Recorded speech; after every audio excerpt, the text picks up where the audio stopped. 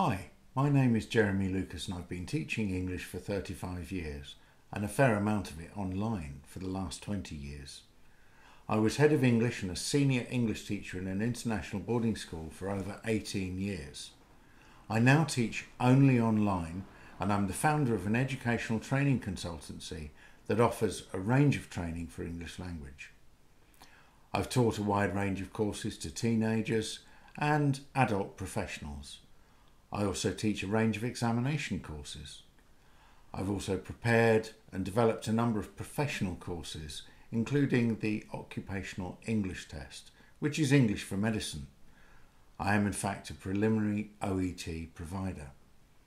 It isn't just the structure of the language I teach, but also the meaning and context, which is fundamental.